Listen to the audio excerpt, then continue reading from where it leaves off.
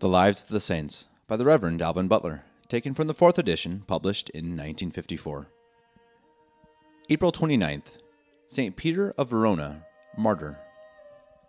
St. Peter the Martyr was born at Verona in 1205 of parents infected with the heresy of the Cathari, a sort of Manichees, who had insensibly made their way into the northern parts of Italy during the quarrel between the Emperor Frederick Barbarossa and the Holy See God preserved him from the danger which attended his birth by being infected with heretical sentiments. His father, being desirous of giving him an early tincture of learning, sent him, while very young, to a Catholic schoolmaster, not questioning, but by his own instructions afterwards, and by the child's conversing with his heretical relations, he should be able to efface whatever impressions he might receive at school to the contrary. One of the first things he learned there was the Apostles' Creed, which the Manichees held in abhorrence. His uncle one day, out of curiosity, asked him his lesson. The boy recited to him the creed and explained it in the Catholic sense, especially in those words, Creator of heaven and earth. In vain did his uncle long endeavor to persuade him it was false, and that it was not God, but the evil principle that made all things that are visible, pretending many things in the world to be ugly and bad, which he thought inconsistent with the idea we ought to entertain with an infinitely perfect being. The resolute steadiness which the boy showed on the occasion his uncle looked upon as a bad omen for their sect, but the father laughed at his fears, and sent Peter to the University of Bologna, in which city there then reigned a licentious corruption of manners among the youth. To fly sin more effectually, he addressed himself to St. Dominic, and, though but fifteen years of age, received at his hands the habit of his order. But he soon lost that holy director whom God called to glory. Peter continued with no less fervor to square his life by the maxims and spirit of his holy founder, and to practice his rule with the most scrupulous exactness and fidelity. He went beyond it even in those times of, of, of, its, of its primitive fervor. He was assiduous in prayer. His watchings and fasts were such that even in his novitiate they considerably impaired his health, but a mitigation in them restored it before he made his solemn vows. When by them he had happily deprived himself of his liberty, to make the more perfect sacrifice of his life to God, he threw upon him the eyes of all his brethren by his profound humility, incessant prayer, exact silence, and general mortification of his senses and inclinations. Every hour of the day had its employment and allotted to it, he being always either studying, reading, praying, serving the sick, or occupying himself in the most mean and abject offices, such as sweeping the house, etc which, to entertain himself in sentiments of humility, he undertook with wonderful alacrity and satisfaction, even when he was senior in religion. But prayer was, as it were, the seasoning both of his sacred studies, in which he made great progress, and of all his other actions.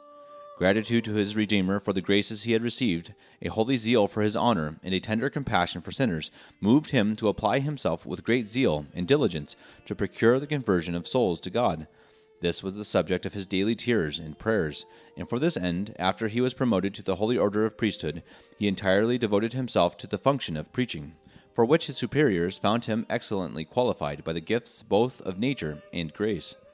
He converted an incredible number of heretics and sinners in, Rom- in the Romagna, the Marquisate of Ancona, Tuscany, the Bolognese, and the Milanese.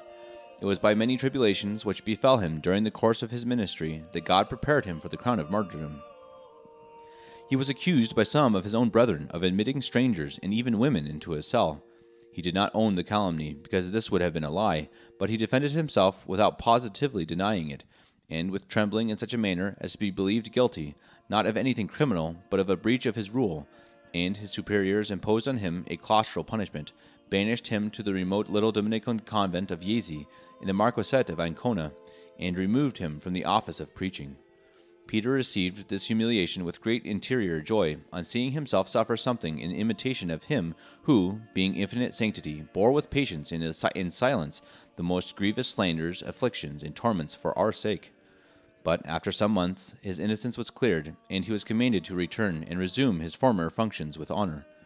He appeared everywhere in the pulpits with greater zeal and success than ever, and his humility drew on his labors an increase of graces and benedictions. He was made superior of several houses of his order, and in the year 1232 was constituted by the Pope Inquisitor General of the Faith. He had ever been the terror of the new Manichee heretics, a sect whose principles and practice tended to the destruction of civil society and Christian morals. Now they saw him invested with this dignity, they conceived a greater hatred than ever against him. They bore it, however, under the popedom of Gregory IX, but seeing him continued in his office and discharging it with still greater zeal under Pope Innocent IV, they conspired his death and hired two assassins to murder him on his return from Como to Milan. The ruffians lay in ambush for him on the road, and one of them, Carinus by name, gave him two cuts on the head with an axe, and then stabbed his companion, called Dominic. Seeing Peter rise on his knees, and hearing him recommend himself to God by those words, Into thy hands, O Lord, I commend my soul, and recite the creed, he dispatched him by a wound in the side by his cuttle axe on the 6th of April in 1252, the saint being forty six years and some days old. His body was pompously buried in the Dominicans' church dedicated to St. Eustorgius in Milan, where it still rests. His head is kept apart as a case of crystal, in a case of crystal and gold. The heretics were confounded at his heroic death and at the wonderful miracles God wrought at his shrine, and in great numbers desired to be admitted into the bosom of the Catholic Church. Carinus, the murderer of the martyr, fled out of the territory of Milan to the city of Forli, where, being struck with remorse, he renounced his heresy, put on the habit of a lay brother among the Dominicans, and perse- persevered in penance to the edification of many. St. Peter was canonized the year after his death by Innocent IV, who appointed his festival to be kept on the 29th of April. The history of miracles performed by his relics and intercessions fills 22 pages in folio in the Acta Sanctorum by the Bollandists. Our divine Redeemer was pleased to represent to himself to us, both for a model to all who should exercise the pastoral charge in his church, and for the encouragement of sinners, under the figure of the Good Shepherd, who, having sought and found his lost sheep, with joy carried it back to the fold on his shoulders. The primitive Christians were so delighted with this emblem of his tender love and mercy that they engraved the figure of the Good Shepherd, loaded with the lost sheep, on his shoulders on the sacred chalices which they used for the holy mysteries or at Mass, as we learn from Tertullian.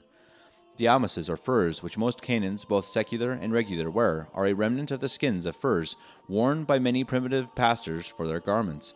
They wore them not only as badges of penitential life, in imitation of those saints in the Old Law who wandered about in poverty, clad with skins, as St. Paul describes them, and of St. Anthony, and many other primitive Christian anchorites, but chiefly to put them in mind of their obligation of imitating the great pastor of souls in seeking the lost sheep and carrying it back on his shoulders, also of putting on his meekness, humility, and obedience, represented under his adorable title of Lamb of God, and that of sheep devoted to be immolated by death.